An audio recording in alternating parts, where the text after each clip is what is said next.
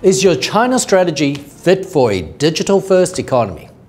More than 220 CEOs and senior executives with operations in mainland China and Hong Kong have contemplated this question and shared their views on doing business in China.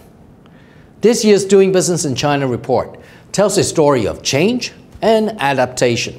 China is fast becoming a proving ground for digital first organization. Almost one in five Chinese consumers shop online daily. We're talking about an e-commerce market that is worth 4 trillion renminbi.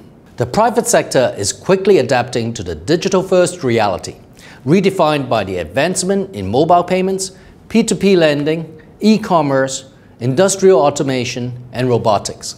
Foreign and domestic firms adjust boldly to a new China that's in transition towards a new economy, one that is characterized by a growing service sector.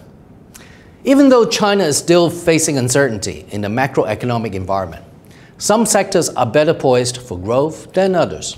Technology and financial services executives are especially optimistic about their business prospects in the coming year, drawing on the potentials of the emerging fintech space. With increasing competition and evolving consumer preferences, executives in China are adapting in three main ways. First, building strong brands in digitally driven value chains. Second, deepening collaboration with local partners for access to innovation. And third, expanding inland to capture untapped growth opportunities. I invite you to find out more from our report. Thanks again to senior executives who've shared their views with us.